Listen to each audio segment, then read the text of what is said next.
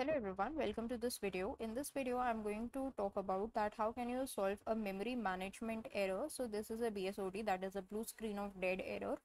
So in case you get this error, then there are two possibilities that uh, there is an issue with your RAM and it could be because of the hardware issue or because of the software issue. In case of the hardware issue, you need to physically check your RAM for any damages and make sure there are no damages. And if there are no hardware damages, then we can proceed on to check the software part of the RAM that is the software issue. So we can check and fix this uh, software issue using a very cliched solution, the SFC scanner solution. So for this, what we need to do is run an SFC scanner. And in case you don't know how to do that, so let's just type right into the process.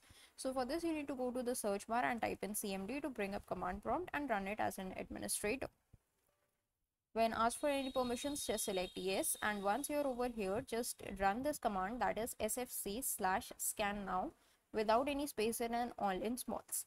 Once you have run this command, then it will take 5 to 6 minutes to complete the scan. Then you need to reboot your system manually and once you have done that, then your SFC scan would have been complete and your BSOD error with the memory management should have been solved if it was a software issue. That's it for this video. Thanks for watching.